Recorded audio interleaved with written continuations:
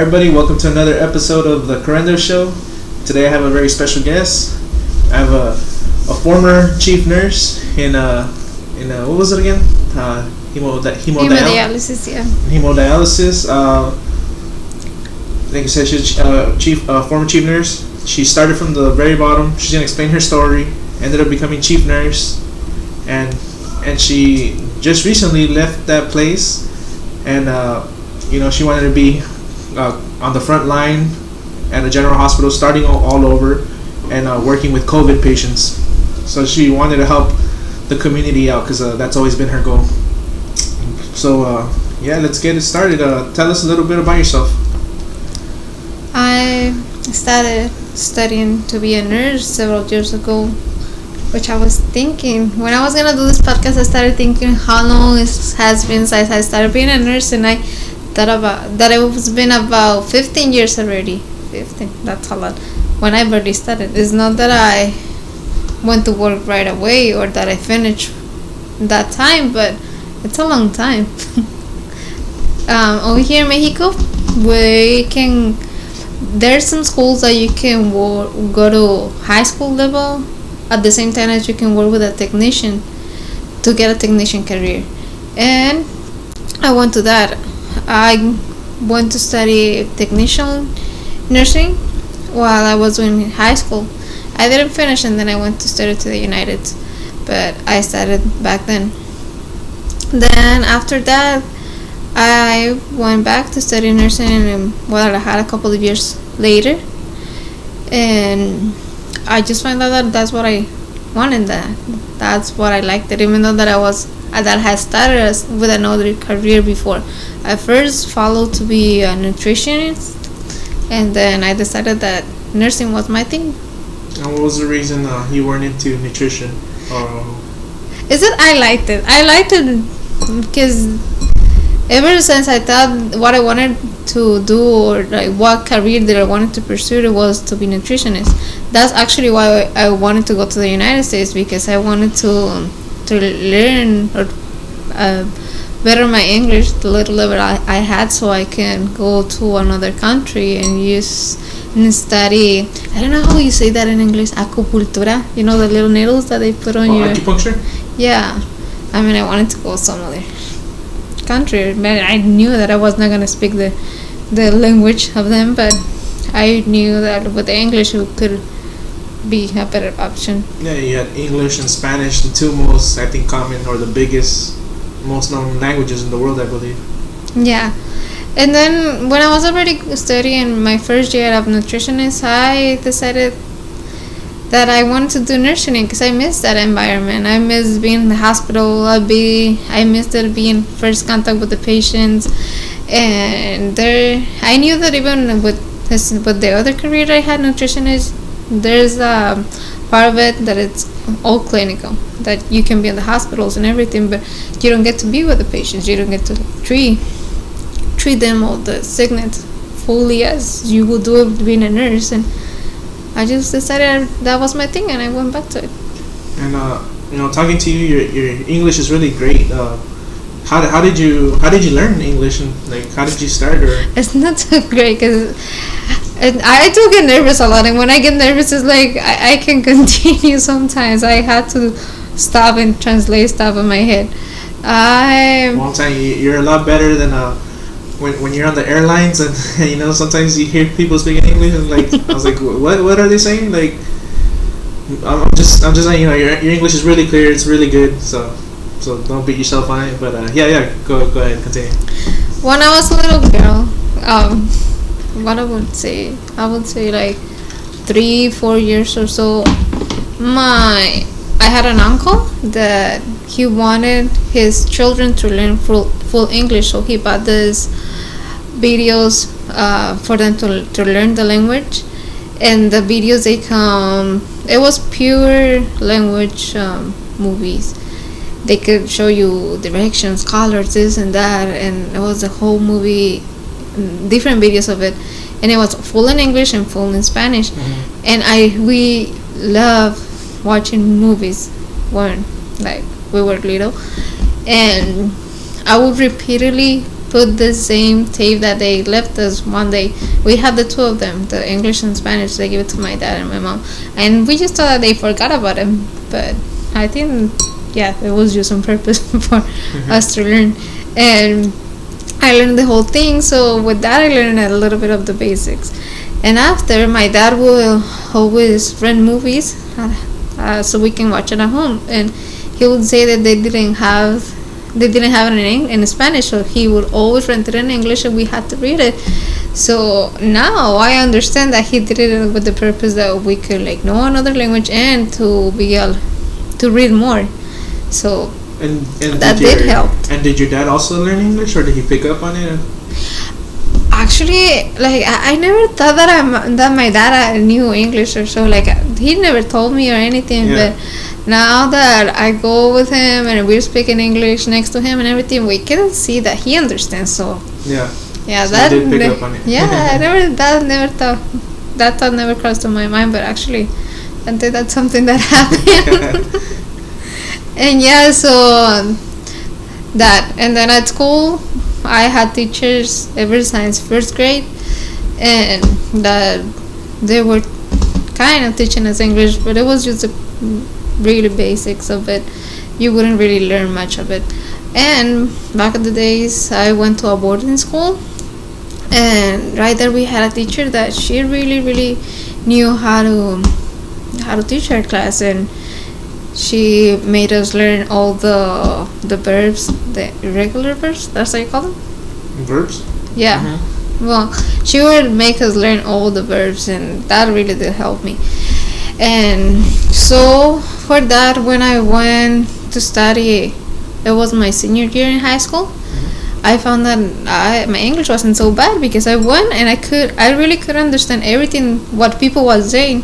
And I wasn't able to express myself. Yeah. I was just so shy. Whenever like people wanted to talk to me, if they wanted to talk English, I could really understand everything, but I couldn't talk back. Like I would just speak Spanish. Right. Yeah, I even remember I had this counselor really mean that she um, didn't didn't wanted to put me on the regular classes when I went.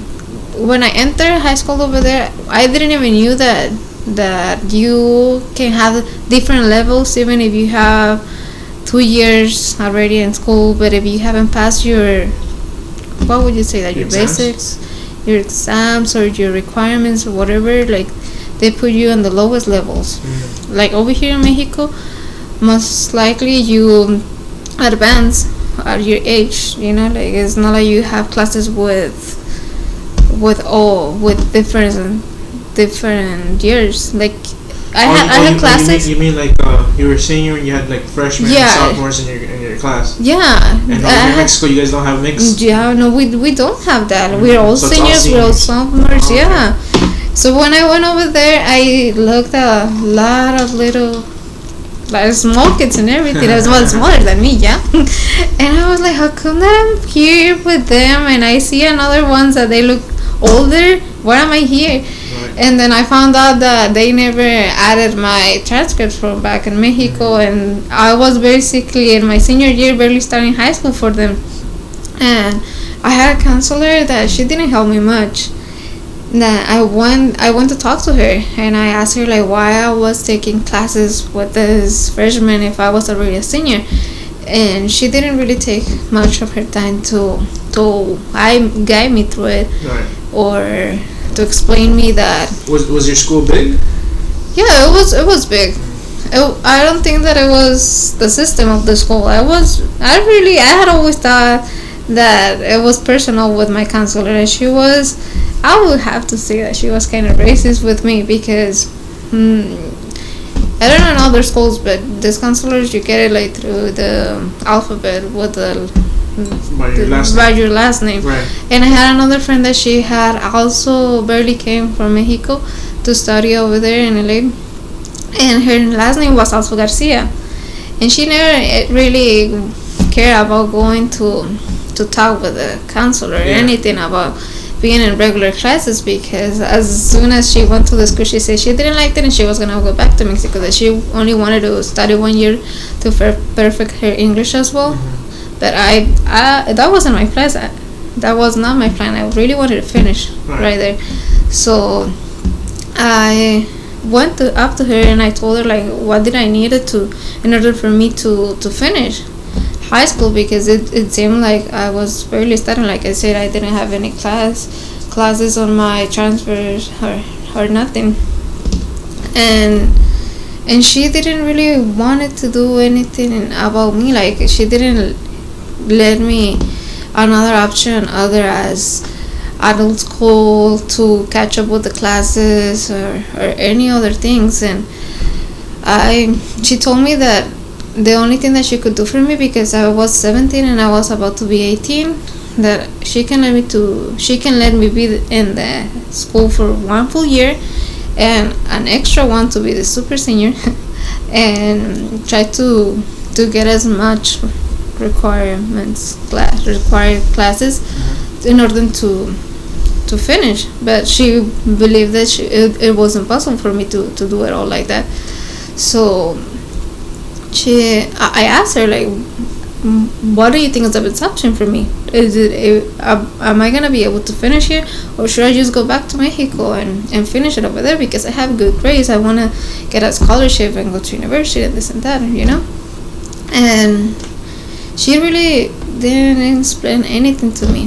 When I say that I wanted to go back to Mexico uh, she was like yeah I think it's better for you to go back. And for this I wouldn't speak to her directly because like I say I was shy.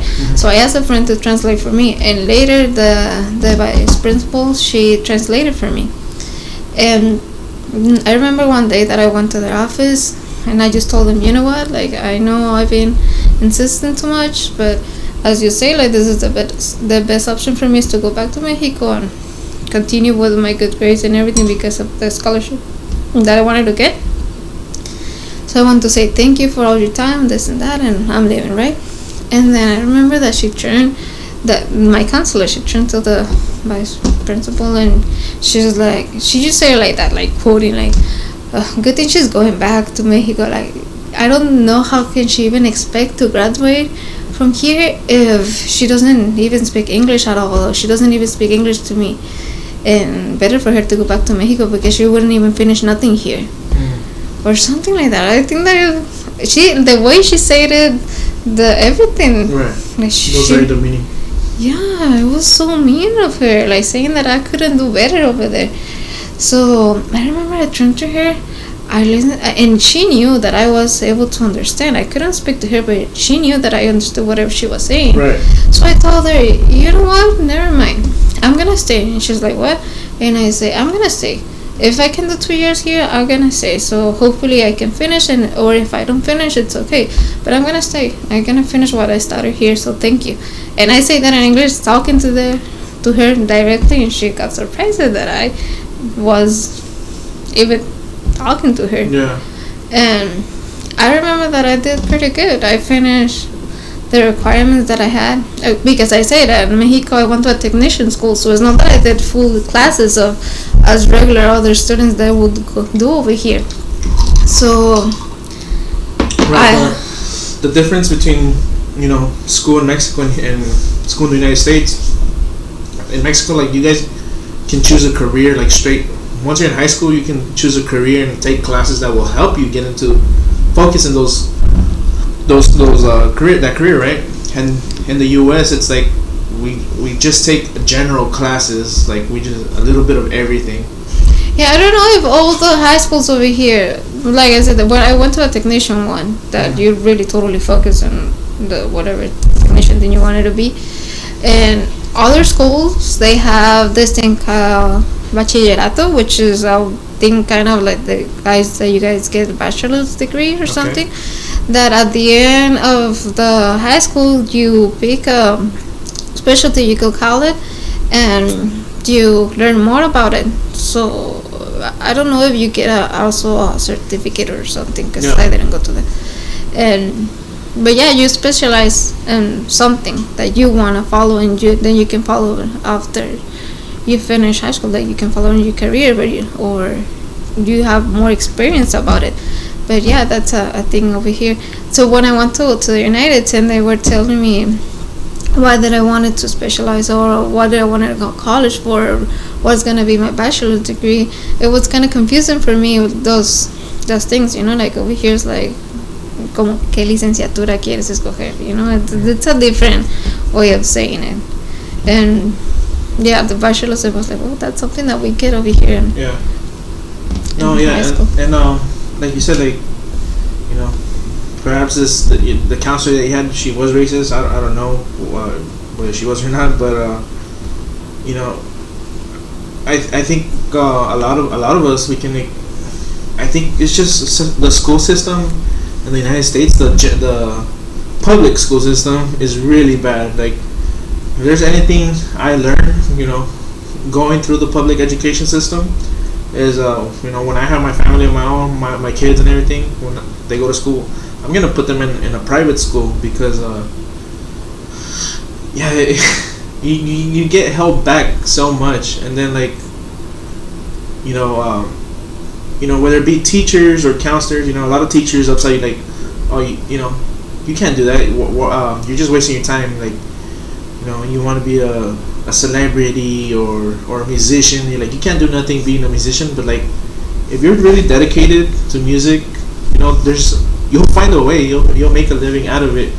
You know you may not be a celebrity you may not be the biggest but there's there's different ways of, of, of make of making a, a career out of, out of certain arts you know? Whether it be like like I said music or drawing you know being an artist and I think in the U.S. Uh, they really teach us, you know, you how to follow orders, how to work for somebody rather than than explore your mind and try to be uh, a business owner. You know, they always say you you want to you want to get a good you want to go to school, you want to get a good job, you want to you want to work for someone really good. But no, like what they should really be telling you is like, hey, um, you know, work hard, you know, try to think outside the box and you know the best thing to do is become your own boss. But in the public education system they don't teach you that. And uh, you know I don't I don't know like like I said I don't know if it's racism but uh, when I was a little kid in elementary you know I spoke English. You know my, at home with my brothers I spoke English. And then uh, when I was in, in throughout elementary from from first grade through fifth grade um, they they always put me in ESL. ESL is uh, English as a second language. Yeah. But yet, you know, when I was when I was taking my my exams, in, if, like the the I think it was the California standard exams. I I, High school exit exam? No, no, no, no. Um, this is one through fifth grade. Oh. This is like the California standardized test, something like that. I would get perfect scores, and like, it's like okay, I'm someone who speaks English. I know how to read English. In my class, I was the one who who knew how to read the fastest, and like I would pronounce the words correctly. I had horrible writing, so I'll make that clear. I have ugly writing, but still, I was able to read and write and and and, and write, you know, perfectly.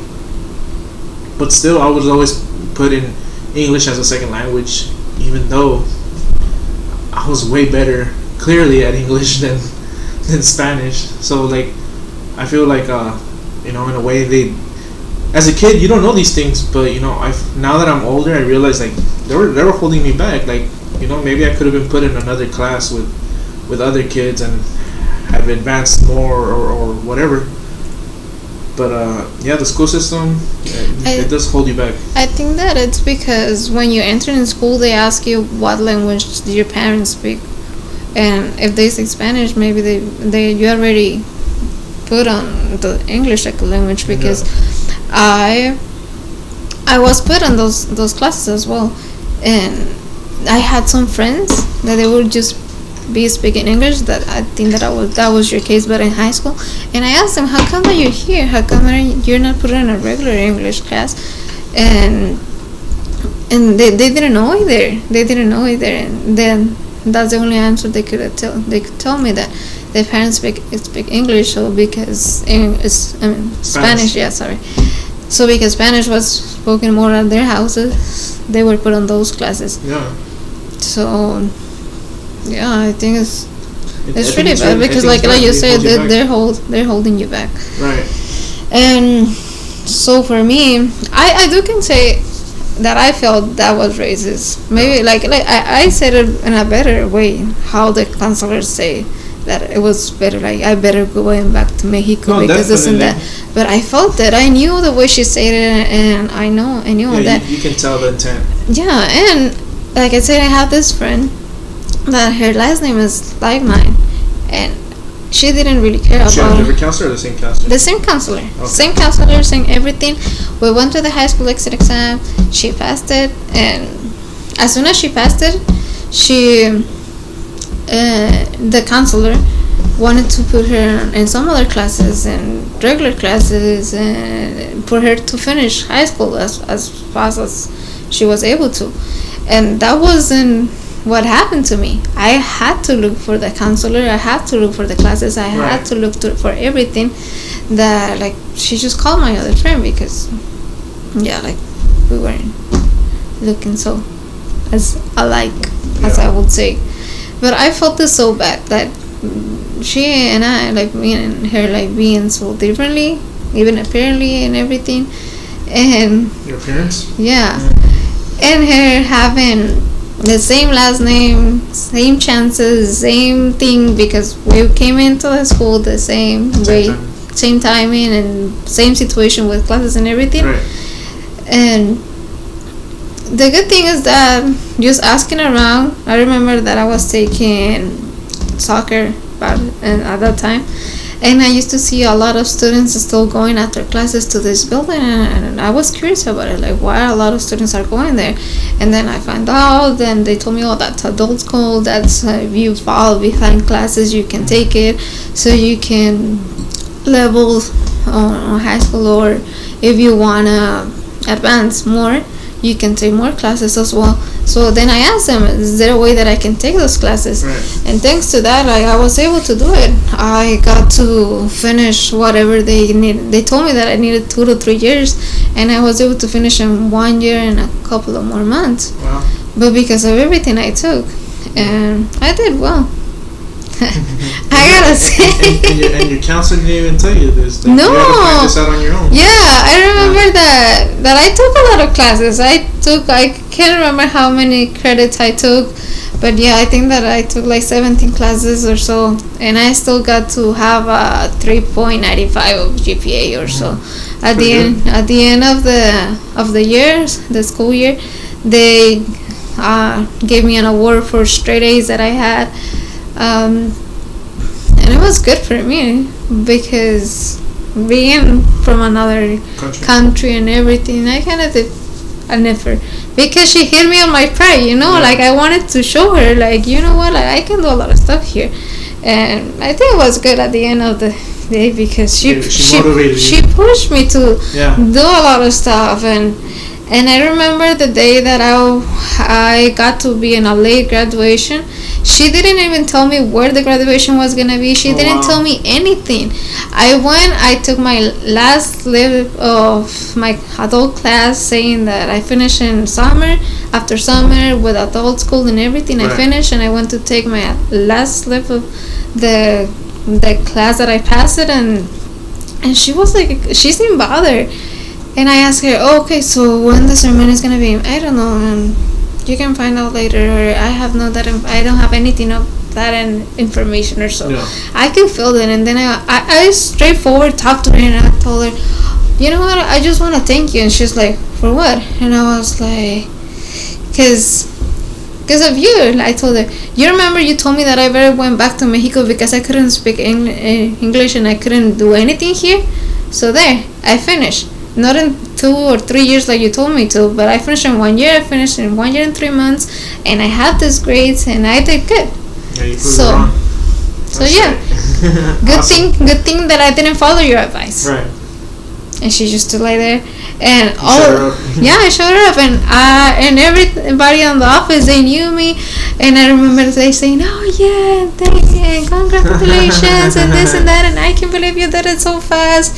And when she was just standing there with her face, and I was so proud. Yeah, there's there's just some you know people didn't want others to succeed. You know, they're just not miserable with their lives and they try to hold other people down. Sadly.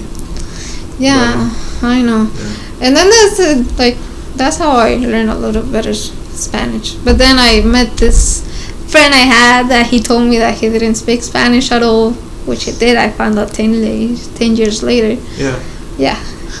and thanks to that, like, I was talking to him so much that I was I got better Yeah. in speaking Spanish. So I would say that yeah, I do give honor to my dad, my classes, my teachers, and everything. But I would say I speak English thanks to this person. so he, by saying he, he didn't speak Spanish, he, he, he forced you to speak English all the yeah, because I want to talk to better- him so much. That's that's that's funny. That's interesting. It is, huh? It is. It is. Uh, I mean, is there anything else I can get you? You just uh, water or? Okay. For those of you who don't know, uh, I'm having some Coke and Captain Morgan, which is rum, spiced rum, and uh, yeah, I, I I think I did it a little too much, but I don't know how you see me. I think I'm holding up pretty good, pretty good. I haven't even drunk anything. I haven't drank anything. All right, there you go. Oh, something interesting. So, like I said, uh, we're in Mexico right now. I'm not in LA where I usually film. Uh, I found it interesting here in Mexico. Um, they passed a law where you guys have to like, label your all your food, right, and stuff like that. Yeah. So, uh, may not be clear, but here there's this little label that they like stickers that they put on on food and drinks. It is it says uh, excessive calories, excessive sugar. So uh, I wonder if that is something would that would ever be done in the United States and what kind of impact. Uh, do you feel like this impacts you when you go shopping? Like you're like, oh fuck, like I didn't know that had sugar or a lot of sugar, or does it make you not purchase the, it? the, the thing, yeah, it does. The thing is that you already know, you know, you already know that you're Right. buying something that has a lot of sugar and stuff. But when you are about to get it and And you that see the labels, like it reminds you. So it's like, do you really need to eat this? Yeah, Of course, like for regular foods, uh, there's still like well, say regular foods that um as in like regular groceries that you need to make, as in sour cream and stuff like that, cheese or so. You still get them. right. But for me, as if I'm gonna get those chips that I used to get s- so often, I still stop myself when I Now was you like, think about it, like before you Yeah. would just grab the bag of chips, and now you see that label. yeah, and it's like, do I really need that? yeah, it makes you really do think about it extra. Yeah. Well, yeah. Um, let's continue. Uh, so the reason you're here is, man, we re- recently just saw Texas. Uh, I, I believe the governor Greg Greg Abbott of Texas. He wants to open everything fully. Know, back business, school, everything.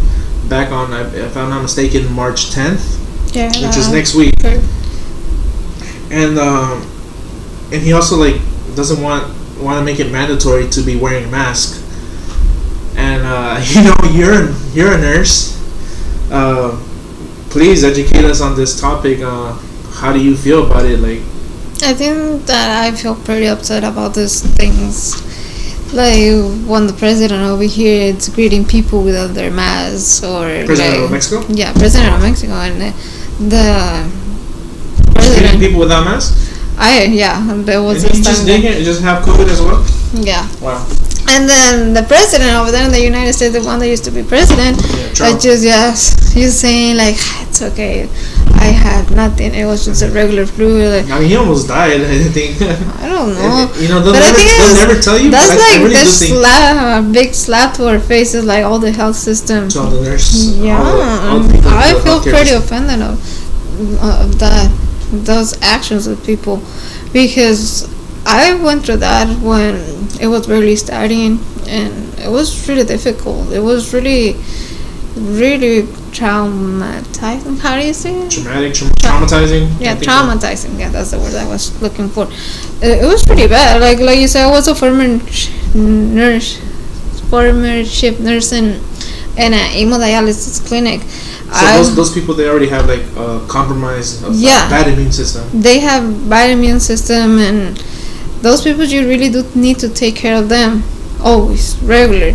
Imagine with this pandemic, with this Right. unknown virus of what it's gonna do to people, like regular people now. Imagine to these people that already have compromised system. Right.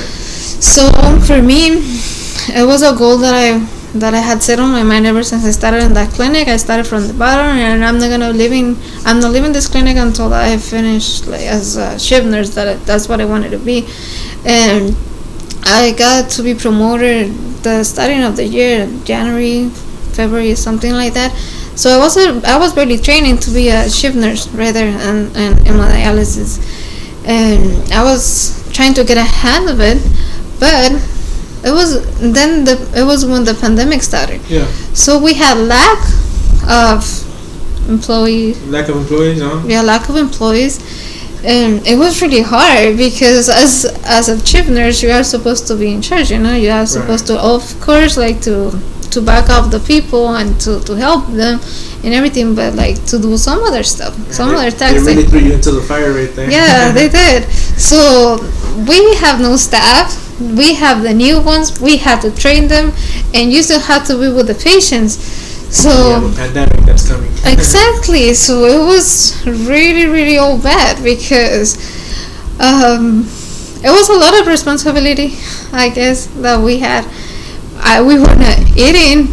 We were not resting. I was going from 5 in the morning to open the clinic and i finished sometimes at 11 or 12 at night and i had Oh, to go wow. back the next day. And it was just all crazy and I remember even the first case that we have for for COVID that I would say we have for COVID because it was unknown. Like I said, on those days I had a patient that she was feeling so bad uh, on the on the process because you know like hemodialysis is that their kidneys are, they're they're failing on They them. have a kidney failure, They right? have they have a kidney failure, so the machine works as a kidney for them. They take out the the liquids they don't need. Then they can Like filter, filters their. Is it filters the blood, the urine? What is it? What is uh? it filters the liquids within, within your body, Okay. either the waste and the the fluids. Mhm. So usually your kidneys will do that, but since it's a failure, you need to create an access to to get it out. So to get out the, the excess of excess of liquid that you already have Get all the toxins out. and get the toxins out. Right. So for that, the the hemodialysis, you you you have that. You use your access, the the access for you, the the as in it can be a fistula or catheter, and it helps you pump out the blood through the machine and and then to the filter, and then pump pump it pump it back to your body as well Right. already clean and and this it's kind of hot already i lost my, my train of thought are you are you the one drinking or is it, am I the one drinking? sorry oh. i just I like think you were talking about that. you know you know that meme like where they tell you something that it pumps you out and it reminds you to the really bad days and yeah i was just starting like saying thinking of how overwhelming you, those were like what was it Donald Duck in, in, in, in that cartoon when he goes back to war and Yeah, yeah, something like that. It kind of went like that. Uh, um, I think you're talking about uh, your first patient that, that you realized had COVID. See? Okay, so- this, goes out. it's because I was trying to like explain what like Right, right. hemodialysis was, and I got lost on it. yeah. So yeah, this this patient said they have it. They have pretty difficult because um, they already had to be so so really precise with the treatment. They have to go three times a week, and they have to get strict on their diet. They have to get strict on the liquids that they already have, and so with this pandemic, it was hard on them. So I mm-hmm. had this patient that she would always get kind of bad on the treatments. That treatment affects differently to to every patient. Right. Like you can see them sitting, you can see them sitting down, and their hair is pumping a lot. It's pumping so much, like even as if they were to be in a race or something, because all the blood it's going around the their system so so fast, so fast, so fast. So they get like, they get fatigued, they get tired because They, they can. Um, I mean, no, kinda no, not, appa- not apparently, but like, yeah, anything can happen to them. So we can really need to be monitor, monitoring, monitoring. Yeah, that. and okay, so I had this patient that she had a regular present a lot of symptoms before that on her treatment. Mhm. But this was something totally different. She started feeling bad. She said that she was starting. She she started feeling.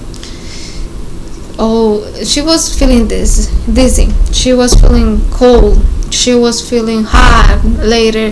Then she started coughing, and then she was saying that she couldn't breathe, and like she she just she was a patient that even though she felt so bad before, she would never like to go to the hospital, and then she, she asked us so much to take away the the system already to to take her to the hospital that something was wrong So she with knew the, something was yeah something was wrong with her. She's like i can breathe i can breathe.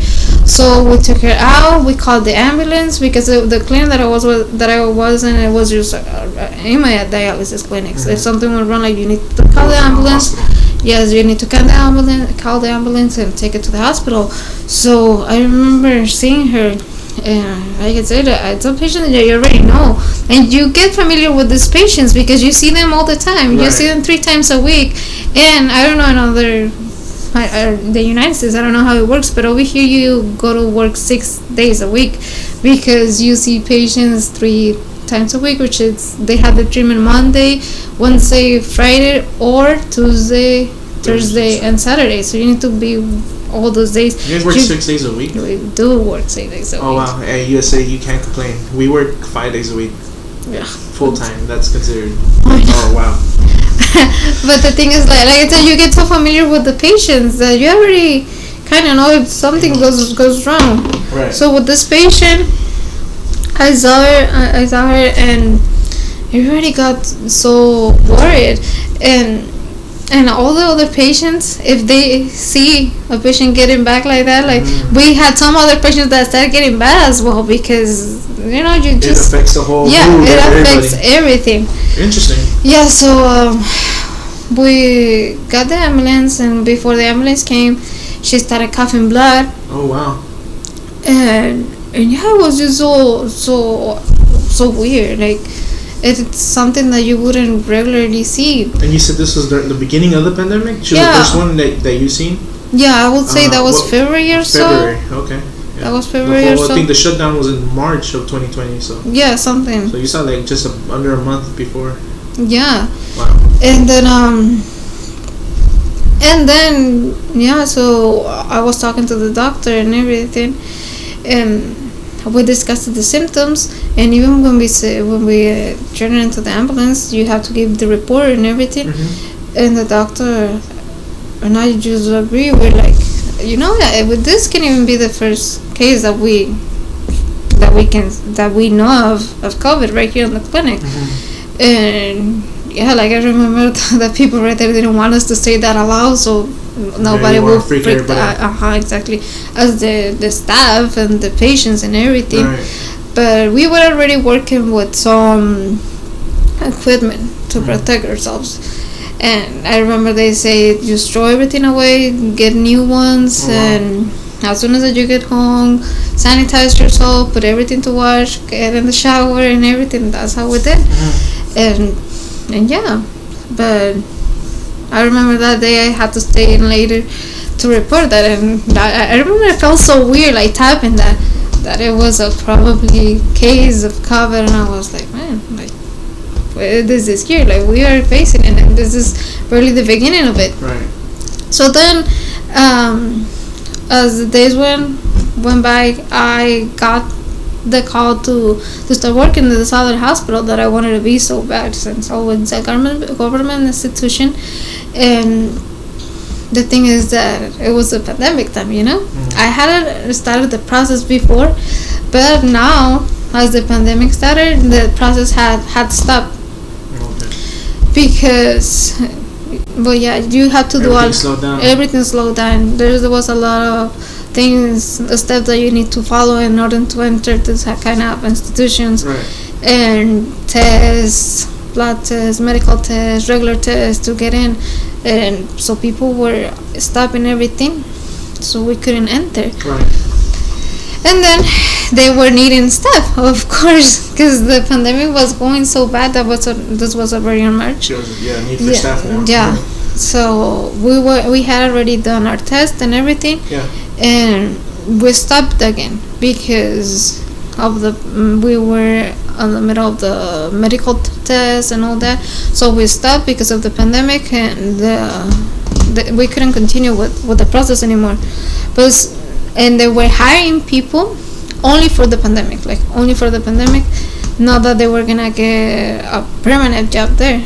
So then all the people like like me that we were barely entering we talked with people and saying like you know what you're, you're getting trying to get people to work in the pandemic but we already here and we already want to start working and why don't you just hire us Right. and we were able to, to follow the whole process and everything in, in one end. So I faced myself with this decision to make whether like to go and go to the hospital knowing that I was gonna have COVID patients or to stay here and keep on being the shift nurse that I wanted to be. Right. And then I really thought about it, and I was like, even though if I'm working in the other hospital, even if my schedule matches to the other one, and even if I'm taking good care of myself and I get all my the measures that I have to take in order not to to to get sick, Yeah. Am I gonna be hundred percent sure that I'm gonna not gonna make any other person sick? You know, I was worried about getting it to my house, and I was so much worried as well as getting it to the other clinic. So I really had to to make the decision, and I I say that I don't want nobody to die because of me. Right. Because what if I give that to uh, uh, the virus to besides the family members to the patients that I have? Like I said, the, the immune system is more compromised and everything. I didn't want them to think it was me. I didn't want me to know that I could give it to them. So I I had to. I had to just quit, and I, I chose and I I chose to quit the clinic. Well, it was a hard, a tough decision. Yeah, it was. Yeah. It was because it was something that I, I had already decided I wanted and to follow and God knows how much I love my job back in the days. even though that I was there six days a week or sometimes even more and all day having to work double shifts and all that. But good thing there's people like you in this world because you see a lot of people, you know, like I'm sure you. I don't know how it is over here, but there's a lot of people who quit.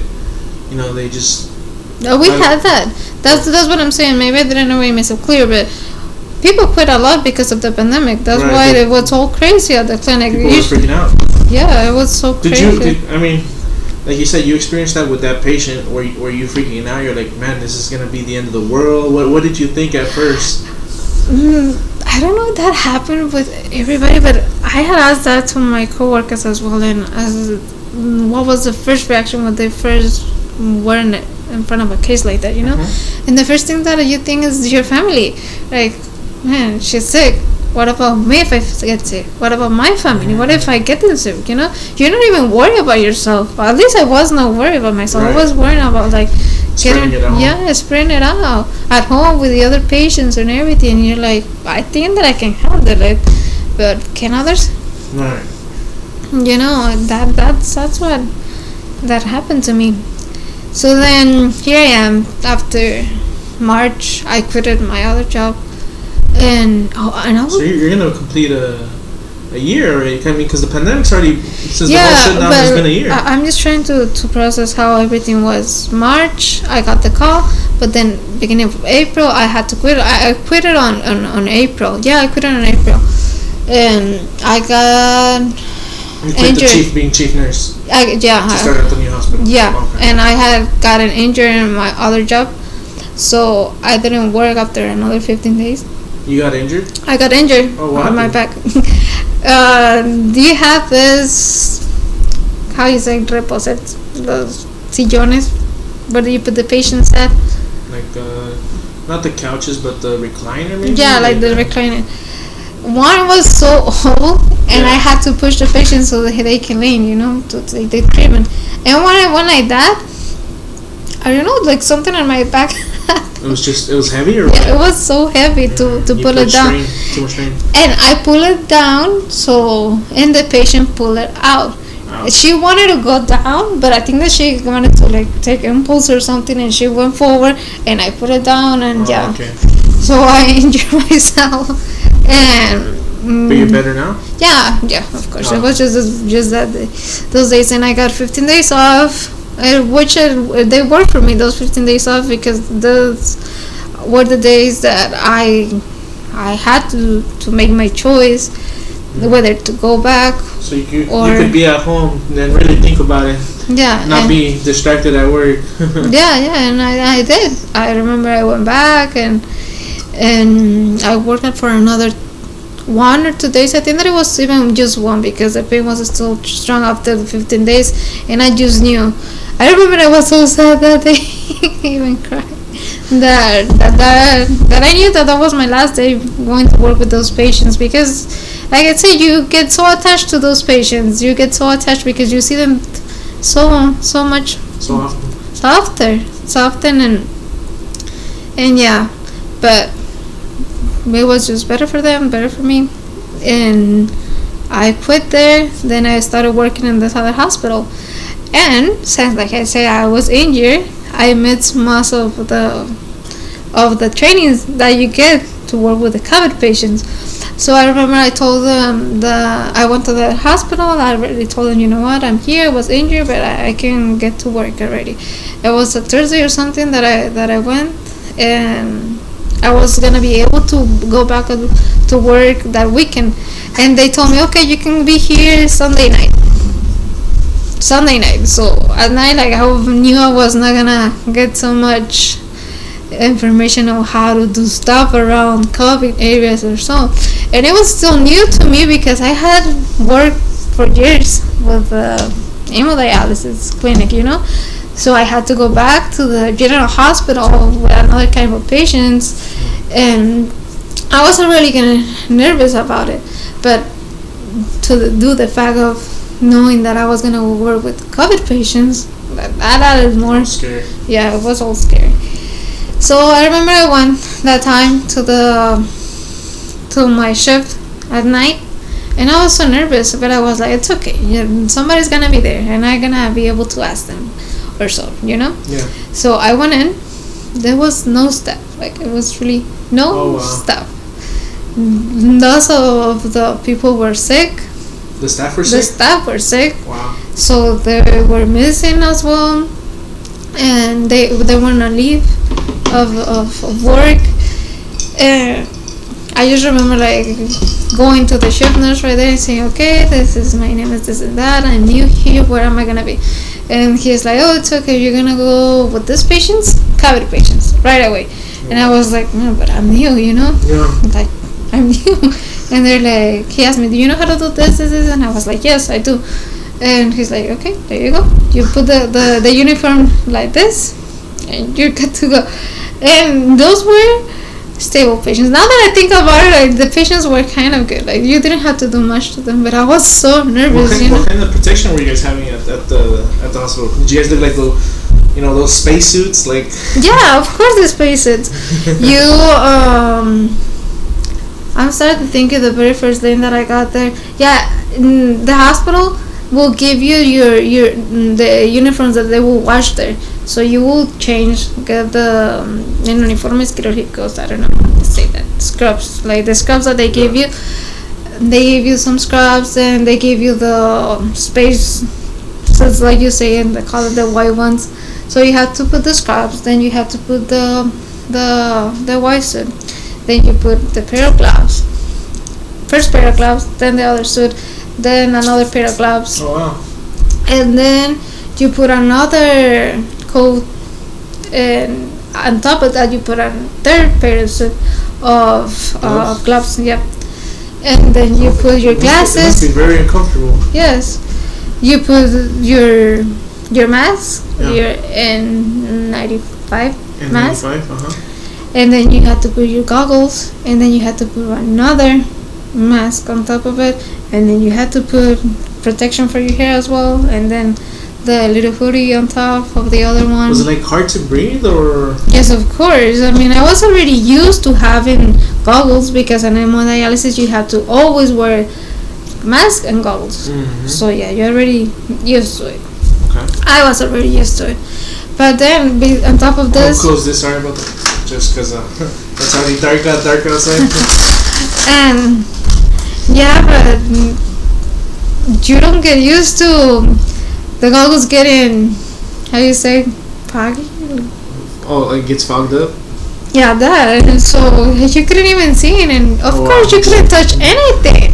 So I remember I put I put everything, and I I had I was gonna have somebody to help me out, you know, but then we were short staff, so it was just me, and then Gosh. somebody was gonna go after, and I know it was just a little bit of time that I was by myself, but I was I remember that I was like man, I put everything, I got my stuff. They told me do not bring anything in. You don't bring pens. You don't bring nothing. Uh, Whatever you put in, nothing comes out. Oh wow. Once you go in, you don't go out.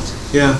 Uh, because they told me that like nothing, something you bring in, don't Don't bring it out. Don't bring it out. Right. You go in, you do not go out. Oh wow. If you need something, you ask to somebody to to get it. So is that like I had this little? I went through the doors. It was this thing. How do you say cortina? Curtain. There was a thing like that too that I had to move and going like that. I really did feel like I was going to space and stuff with all the suit I had. And then as soon as I Have passed that. have you ever seen uh, E.T.? uh, yeah, but that was a long time ago. It, you remember like uh, when they shut down the whole house and then like, you know, there's this like little. Like I said, everybody's in their little spacesuit, whatever, so they don't get contaminated and just like I don't know, just how you describe it reminded reminded me of, I'm E.T. pretty sure that if I do see it, it's gonna come back to me. Yeah.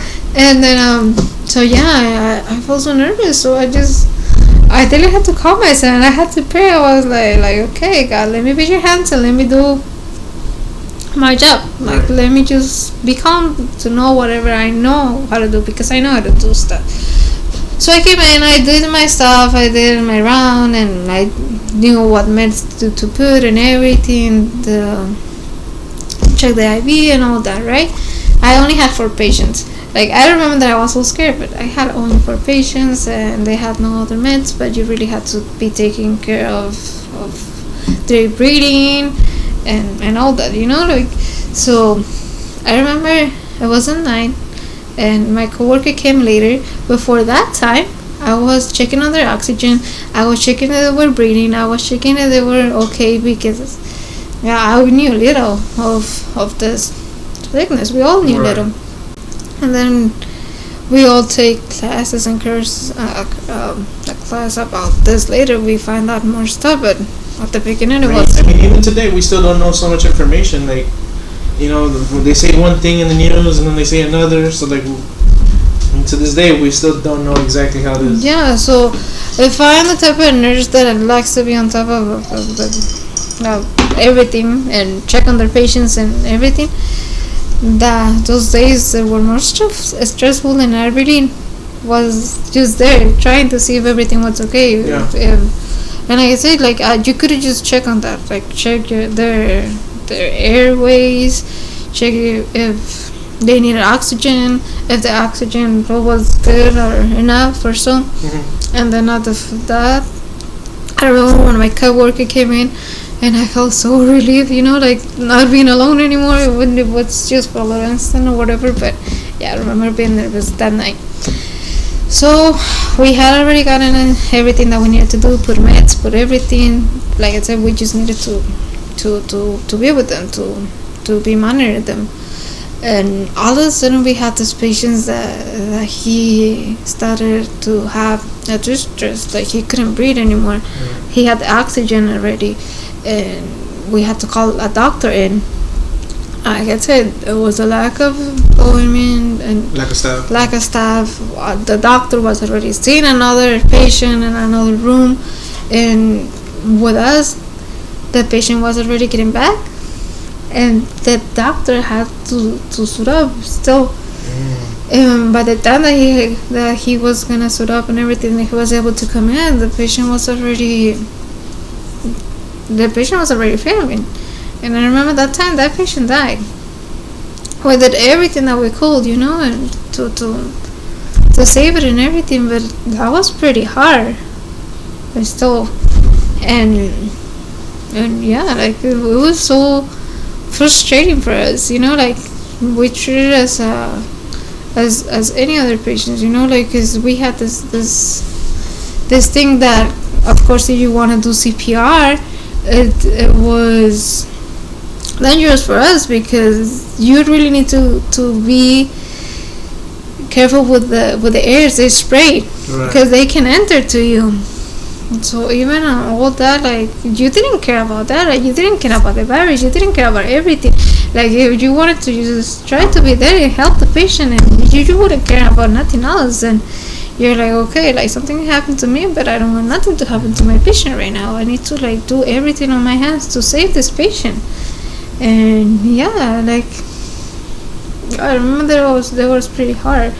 It was yeah like we experience with this all, all times but like experiencing with an unknown, unknown disease and and seeing this it was it was pretty hard Yeah. at least on me Right.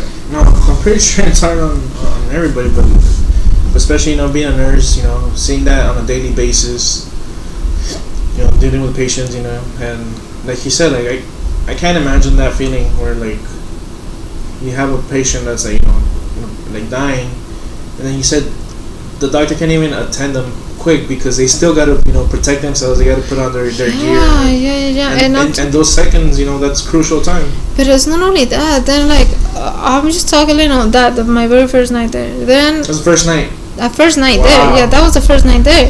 And then How long you been here? Huh? How long you been there? what do you mean, like at the at the hospital. How long you been working? now? Now it's been almost a year. Well, that was you like said uh, that was just the first night, a little taste of my goodness. yeah, yeah, yeah. And then the following days we have get lots lots of doctors right there. Yeah. like we have lots of, of staff now.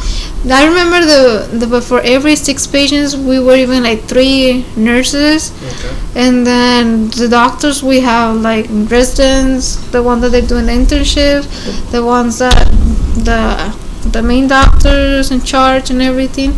And still there were not enough you know because like of course you gotta have a team. If a patient is allocated and it's fallen into higher stress or something Mhm. you need to have a whole team there Right. and then it's not only one patient it's another one patient in the next room it's another one patient in the next Right. other room then another next patient in the other room so it was just never enough as much stuff that we had there uh, that's like you never get enough that's why th- that night I, I just thought to myself like how can we be so little like like uh, on stuff you know how can we be so like just a few of us Yeah. here but it wasn't that it was a few of us here it was just a few where it was but the whole hospital was like that like patients everywhere patients um getting bad everywhere uh, it was just really sad really really sad um you will go out of the hospital and you would just think like how people can be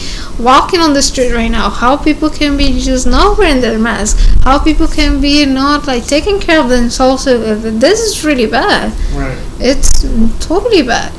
And well, I remember that day I came out to the house and my husband was here and and he had to go to work. And I remember I told him like you just go to work. Like um, I don't want to find you there when I'm when I get here. Like I want to like wash my clothes I put it on Clorox I want to put it everything away and I just wanted to shower because because yeah after seeing that patient getting so bad the less that you want it's a, a person like any person but a person close to you your family to to pass through that you Right. know and Yeah, and you have like I, you know, you hear cases like that all the time. You know, where where uh, you have husbands and wives. You know, especially older couples.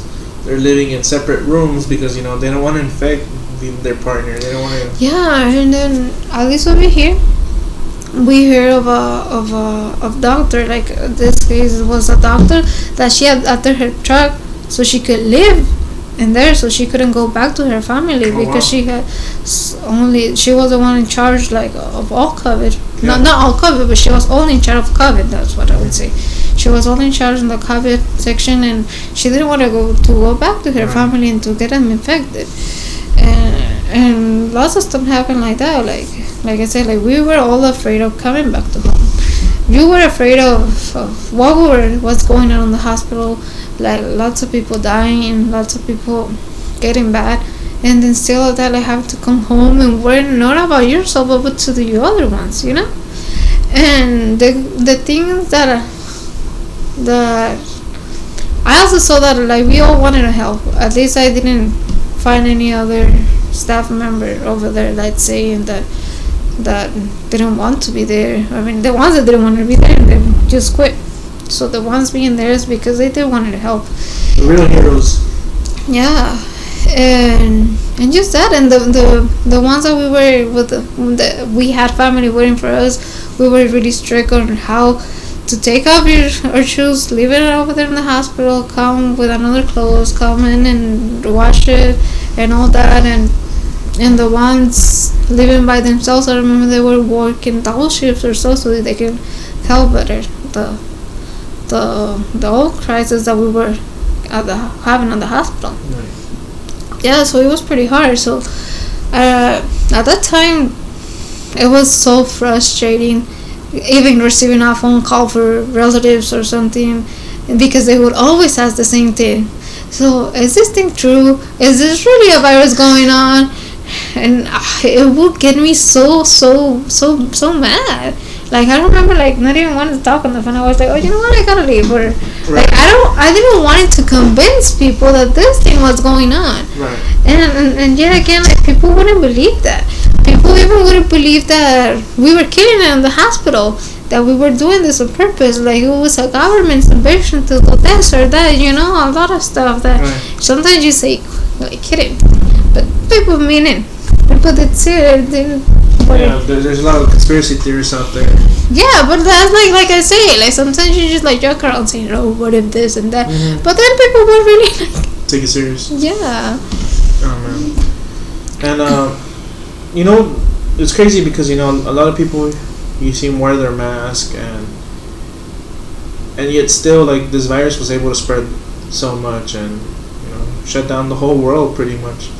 Um, like I said, it's a year and you know a lot a lot of places are still closed. Um, Texas, I don't know, I don't know what's on their mind. I'll- yeah." It's because I mean, I maybe maybe I understand them opening, but you can't tell people, hey, you don't have to wear your mask anymore. Like that, still, that's that's that's the thing because at least over here where we live things are not fully open to the max level. Things are not like we all telling them wear masks, wear this, Mhm. and you yet see all the people out. You see all the people already doing their lives. You see a lot of people like with masks and getting infected and still going to the hospitals. It's not as bad as as before. I would say in our hospitals, but previous months we had a we had it really bad. And like I'm saying, over here with now all the restrictions getting over, we we have it bad. Imagine over there right, with no masks, with no restrictions, with no nothing right. going and doing that. I hope everybody does okay, but but yeah. And uh, I was gonna ask you this since you know you're we're here in Tijuana, um, you know, which is the border, uh, Mexico and U.S. Do you find do you find uh, a lot of Americans like coming over here? You know, like come like respectful of, of the people, or they come here? You know.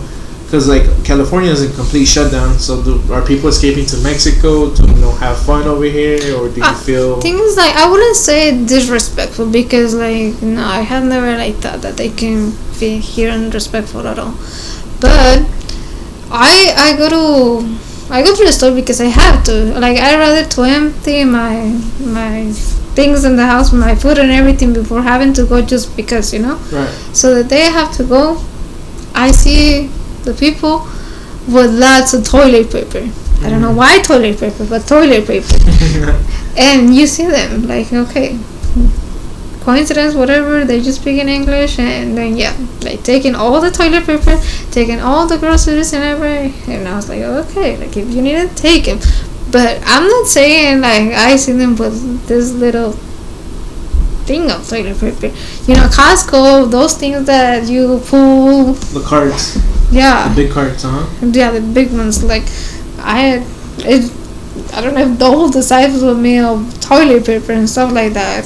I'm like, why do you guys even do that? Do you guys did it over there? I, I don't know. I don't know. Like I, I really couldn't explain that either. Like people were freaking out over toilet paper, and you know they just started buying everything, and and like I said, maybe the first time, like like you know, like if the government said, hey, we're gonna shut down, which I think they did uh, initially, the government the the shutdown, right? I think they did that at first, but uh, I don't, I don't know. People still go out and they're just hoarding it. That like, and they're not being conscious of other people. You know, like there's other people who, who, you know, may be at work, so they don't have time to go to the market early in the morning, and and just because you know this other person. They're not working at the time. You know, they buy all the, the toilet paper, and sometimes they don't even keep it for themselves. They're just Even buying it so they can sell it, so they can make a profit. That, that's the worst part of this this pandemic thing. People trying to make profit out of the needs of somebody I agree. else's. I agree. Yeah, like oxygen, like tanks of oxygen. Oh, people are selling that. Like I, I, I wasn't aware. Like that's a thing. People are selling oxygen tanks. Yeah, they were like to really high prices. I'm not saying like that that was like totally a thing, but I heard cases that they were selling it, or it was really hard to find uh, the tanks of the oxygen for people, or Yeah, even like Lysol wipes were hard to Li- find. Lysol. uh, I I'm I'm still not to wash your hands. Uh, anti uh, sanitizer. sanitizer. There you go. Sanitizer. Lysol. I haven't seen those Uh-huh. in more than a year. I have never. So they're just gone. They're just gone. At least every time that I go, only Costco I can find them. Like I never been able to to see them. right. And hand sanitizer, yeah, like they're all they were all gone those days, and lots of stuff, you know. hmm And you would say, okay, it's okay. You, they're all taken it's for people to wear, but that's the most frustrating part is that it's not for people to wear. It's for them to sell it Right. because of us that we can't find them anymore. Right. And and that's that's the thing. I think that was the worst. That has been the Yeah, that, worst. that that really is like thing. the shitty part about humans. Uh, you know, even doc- doctors and nurses. You know, I'm pretty sure they were having a hard time finding, uh, you know, what's called gloves and and masks and things things that they need for work. But you know, people are buying them all up just so that they can resell them at a higher price, which is really unfortunate. Yeah, yeah, like um, the the private clinic that I told you that I worked in, it was pretty hard. Like we were having troubles to, to, to get this stuff, and and the other hospital that I work on, like I said, is a public institution government thing. We haven't had that. Like we didn't have it as bad, so So was Texas, a, good thing. I'm glad you guys are opening up, but be smart about it. Do social distancing. You know, um, wear your mask, Please. wash your hands, and yeah, because I mean, we don't want an, a, a third wave. We don't want this coming back and and shutting it down for even longer. You know, spreading it. But uh, yeah, um, is there anything else that uh, that you would like to talk about? Uh, yeah like just just i would like to say that the this pandemic has to bring something to learn from all of us like all of us either the people that were lucky that stay at home and work at home because some of us we can stay at home and work from them and you should just like take the time to to to appreciate the things that we have either if you want to go out if you can i appreciate that so if you have to go out like be out with the mask be out with the you know cautions be being caution of or whatever mm-hmm. thing that it can be if you get the opportunity to get vaccinated get vaccinated i already got vaccinated and it's all good Nice. You know which one did you get? The pfizer one Pfizer. And did you feel any side effects or anything? Thing is that I wasn't really eating so well or, or getting enough liquids as I should had before Yeah. and so I remember the day I went. I the previous day I hadn't even drank enough water. So so I took my shot and it was all good. I just feel the arm pretty heavy. Uh, not at the moment, if later. And the good thing is that I have the two days later off after I took the shot. The following day, my I had my uh, a little egg, a Bruise? little no bruise. No, I just felt my arm heavy, Okay.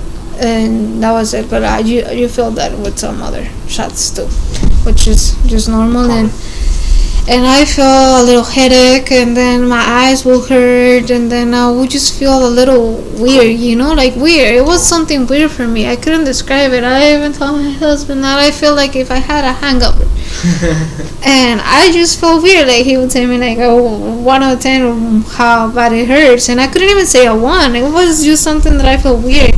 So that night, I asked for a cup of water, and I remember getting another one. And then he says that like he gave me so many waters that that I just drank a lot of water, and the next morning I woke up just as that's great.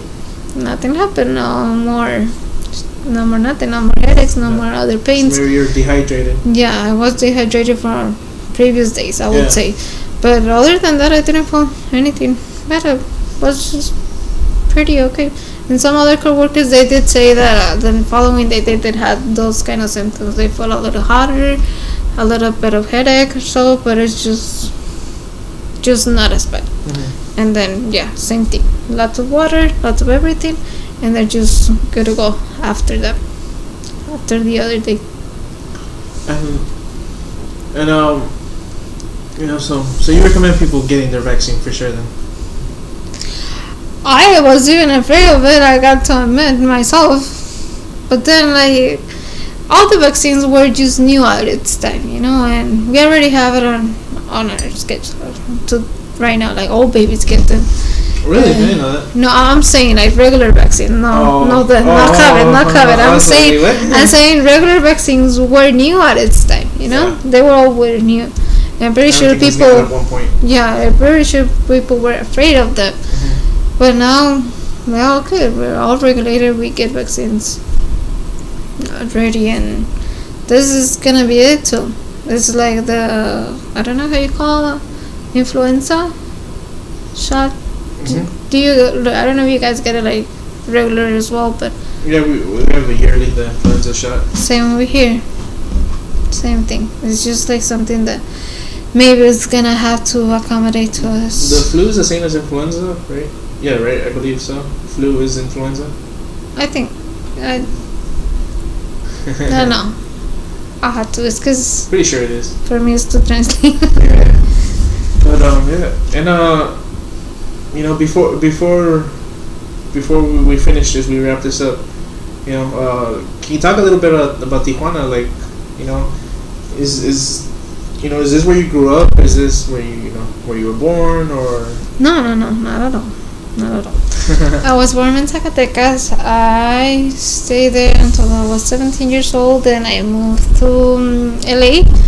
I went to study there. Then I moved back to Guadalajara. I went to a nursing school over there and I finished. I worked and then I got to see the love of my life again. After many years I hadn't seen him and he went to visit me in Guadalajara but, but for this I I I couldn't I didn't get again my visa. So we decided to come to live here in, in Tijuana. Nice. And uh, is it? Do you feel it's dangerous? Uh, scary? Like I don't know. Like growing up, you know, when you hear Tijuana, you hear Yeah, I, I know. I hear that it's a dangerous city, and I even thought that myself. So when we were dating, and we will come back often. We will travel often here to TJ, and and I actually did fall in love with it. I fell in love, especially with the section of playas de Tijuana. I like it a lot, Mm. and it's nothing of what people say. It is. It is really nice. It's a nice area. People, it's nice as well everybody's willing to help you out and they're all friendly there's lots of places to go there's not much that we have gone so far because of this pandemic thing. Yeah. Hopefully we go soon. But I like it a lot. I I do do, do like it a lot. Um, I'm glad. I'm glad you're happy with your move, and um, you know, I really appreciate all, all everything that you do for work and everything. Uh, you're a really great person, helping out. Seems like uh, that is your calling, and it seems like you you enjoy that. You're happy that this is something you want to do, not that you were forced to do. So, you know, thank you for everything that you do. Um, you want to give a shout out to anybody or?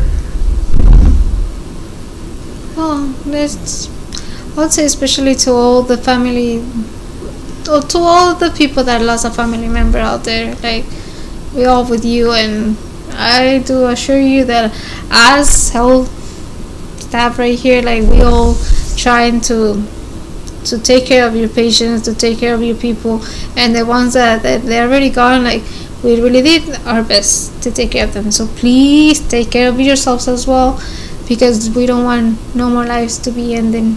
Right, right. No. That's very important. You know, just do the best you can to avoid the hospital. You know, not go to hospital. But if you do have to go, just know that you know there are good people, people such as yourself, that are willing to help uh, take care of them. So, Yeah. no, no, no. Well, thank you so much for for doing this with me. Really appreciate it. And uh, yeah, we'll see you guys uh, next time. All right, bye. Bye. Wait, um, be, before we end this, uh, one, one, I have one more thing because I, did want to talk about it. Um, so, what what was the most you know touching story of, or you know your highs, your low, they, something you want to share you know during this whole pandemic? I have a story about like what COVID, being inside COVID, and Uh, I don't know, whatever you want. like I remember that that talking with my coworkers right there, and he was telling me that a very touching story that he that he was able to to presenciar like to be there it was that um, he had this patient that he was always talking about like he was get, he wanted to get good for his family you know Okay. like to to go back to meet To with recover. to recover to be with his family Okay. And that he was gonna do it all good to be back with his wife and his kids. And after that we like he will tell us a couple of stories about their families and then in another room we had this lady that same same thing like that he knew she knew that her husband was bad of covid so she wanted to recover but because of at the time that he went home Mhm. he was gonna get worried that she wasn't home so she wanted to recover so she could get home to him and be taking care of his family as well. And then he would tell the stories as well about the family. And it was one time that the stories matched, and she's like, and my coworker was like, "Wait, this happened to you and your family?" Because I have another patient that they say told me kind of the same story, you know. And then they found out that they were at the same time there at the hospital. Oh wow! Yeah, a couple. and then um, They didn't know they were. yeah, they didn't know that they they were there. Wow. Yeah, I know.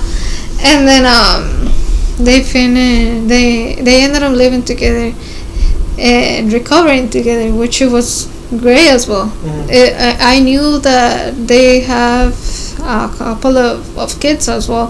Have not kids because they were not little, but some of the, the children, the sons, daughters, uh, they had gotten sick as well, and when I, we're at the hospital as well. So I'm not, got the whole family. no, I'm not saying the whole family, but lots of the members of the family. That's what I'm saying. The whole like, dad, the parents and the kids. Yeah, yeah, but Mhm. I'm saying lots of members were, were there in the hospital and were able to recover full and get out. And I don't know if it was the same patient I had, but one time that I was in hemodialysis of that clinic, this patient was telling me his story, and I think that it was the same. He told me the same story. I was in the hospital with COVID. My wife was in the hospital with COVID here. We got recovered. We went and we went home. Our kids were also sick, and one of them, the kids, they they, they didn't make it. It wasn't so Oh. young. It was in its twenties, something like that, 30s. Mhm. I mean, not to be a kid, but it was really, really young person, and they were surprised. They were really surprised at them being older, him being with that, you know, thing that we were talking about, the patients with the kidney failure and everything was able to to to make it out, and it was so sad that that one of his kids couldn't make it back with them, but Just never know with this virus. yeah, you just never know. You just totally never know. Yeah. But it was just one incredible thing that having the family inside there and they not even knowing they were there at the same time. But at least them two, the husband and wife, were able to recover and get, get out as well. And they were trying their best to to get back to each other, to get home. Well, I guess that wasn't such a. In the end, it wasn't such a happy story. Because yeah, like I asked, I was like, uh, well, a happy story, and then you like, well, the kid died. I was like, ah.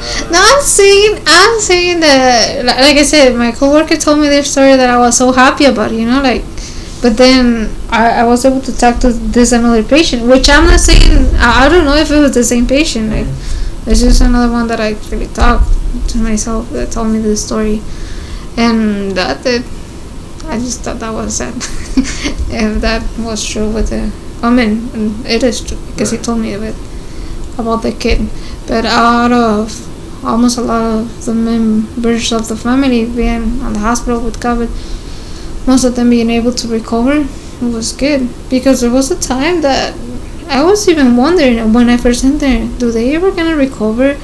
Are they ever gonna go out of the hospital? Because I was in the area where they were all bad, you know. Yeah. And as soon as I saw, we'll see patients getting better, the first thing that we got a patient to get home to release a patient, we were all happy and celebrating and all that.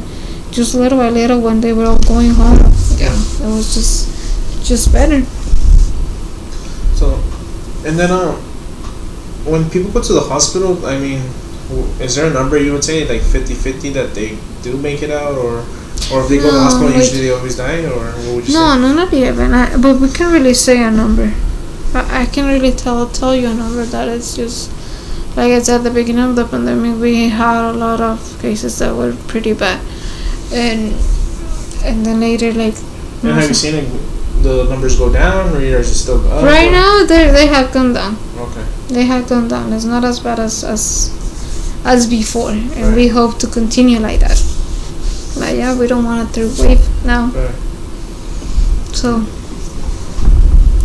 And uh, is was there any patients maybe who like they didn't want to be there, like just get me out of here? Or yeah, we had patients that they were trying to escape. escape. escape, Really? and you you can uh, at least not over here. You cannot force them. Mhm. You're like, okay, you wanna get out. You're gonna sign something that you can alta voluntaria se Yeah. llama. You just say you don't want to be treated. That you're gonna go home. You go home, but then like, your family have to come pick you up, and also Oh, that, you wow. know like How would they try to escape? Is there any stories about that? it's because.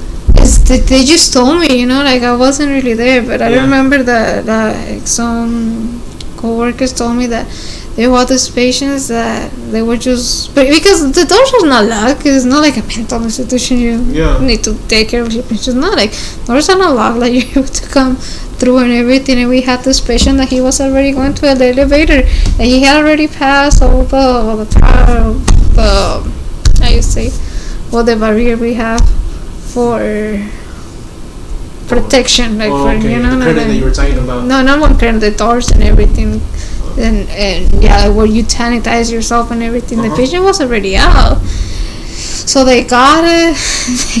they took it inside. And I guess I know that you can you can make them be there, but if they wanted to sign themselves out of it, they can. but yeah, this. So we, we know if someone gets uh, thrown into prison, who's gonna try to escape? Imagine. oh wow. Mm, Yeah. Oh, yeah, is, is there any other stories you you'd like to share? Any? Now that I come to my mind, no. Which is just like I, I was. Well, I remember you, you. Sorry to interrupt. Uh, I remember you, you know you said you connected a lot with your patients at the hemodialysis place. Uh, you know, it seems like you you have connected connected with your patients. Um, you know, is there is there a patient that comes to mind that like, you know, um, treated you good, or you had a, whether he or she? Uh, I say I, I can. Well, yes, of course, you always have a special one. You know, like your, your favorite patient. it's because I can have a favorite, and they're all good, and they're there. It's just you get so attached to them, you know, and it's just so many good stuff about many of them.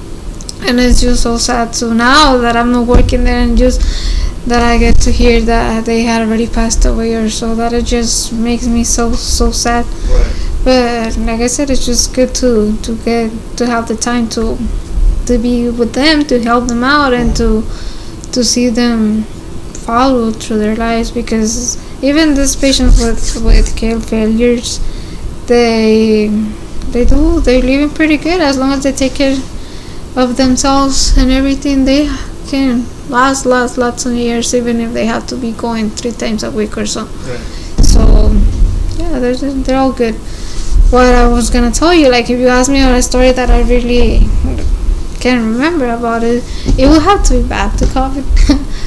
that that yeah, I remember I had this this patient that that she wanted to she was just older bad crying and all this despair you know like saying you know what? I can breathe. I can i feel this bad and this and that. You, you see his her oxygen and it went so low and for me to wait for her because yeah you, you have uh, tenía puntillas de alto flujo, so oxygen to the max level with the special ones, and and it was, she was doing you know, good. She was set, her saturation was ninety four percent and everything, and as soon as she got worried, like it was so so down that we thought that we had to put her in a how do you say ventilator? Yeah, ventilator, and before that, I, I remember I, I, I was I was just talking to her and I was able to tell her, you know what?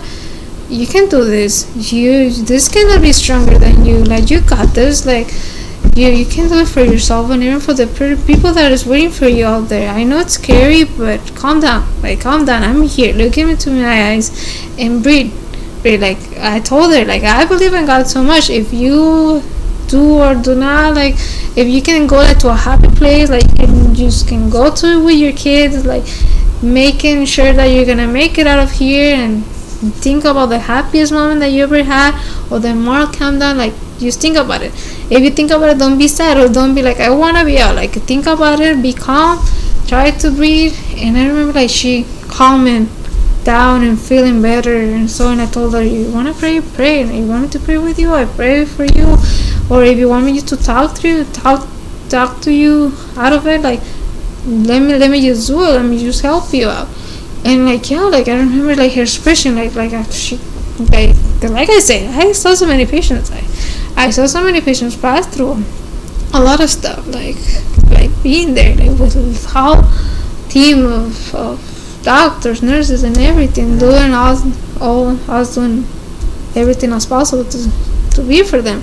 But for that moment that it was just like a matter of one minute or so for her trying to calm down, to be able to connect, to be able to calm her down, and for her to start reading better, normal or so, and seeing her recovering and getting out of the hospital and getting good, and her saying, "Oh, you know what? Thank you for those words. Thank you for the, doing this." Like that, that brings me such a joy, you know, like yeah.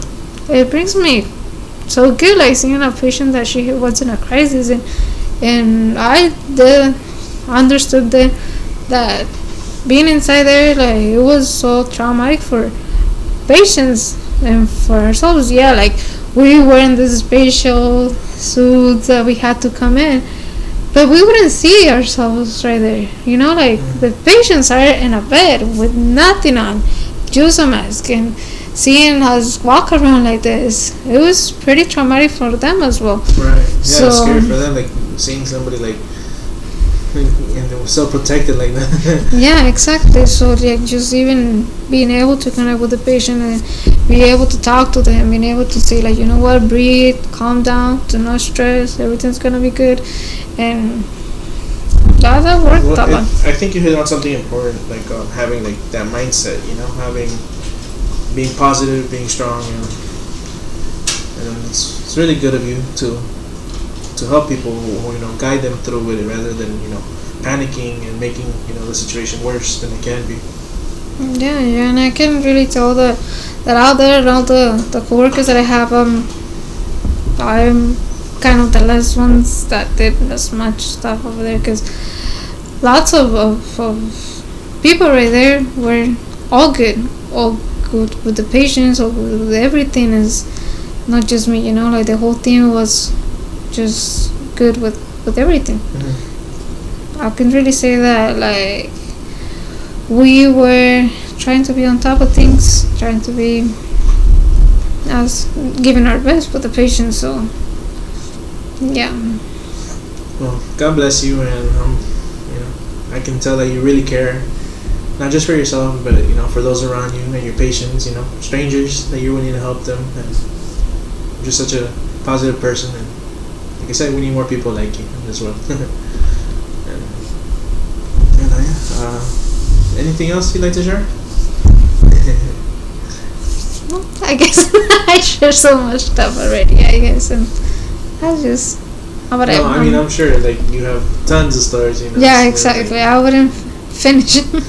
and there's just just Well, I'm sure you know if, if you if you enjoyed this, you know maybe we'll we'll catch up again, and hopefully this pandemic is over. And we'll we'll be able to tell some you know some good stories rather than just you know a couple of sad stories, but yeah. tell more happy stories. Yeah, I wouldn't. I'm I promise not to share happy stories and turn it into sad ones. Hopefully. uh, well, thank you so much for doing this once again, and really appreciate it. Righty. All right, all right, buddy. Uh, oh, we haven't even said it. Let them know uh, to subscribe, hit the like button, share. Share. Comment. comment, everything. Yeah, there you go. You know what's up.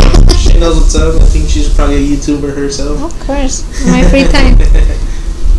Apart from being a nurse, she's a famous YouTuber. Do you have any social media know, that you want to share, or I don't know if you? I don't know. No, not really. I don't even have an Instagram. I never even. I have never even used. So So you're not like Yeah, you're the- not like these the- nurses doing the TikToks. the dancing. Carrendo show is the social media to share. I would Yeah. say. Check out the Carrendo Show.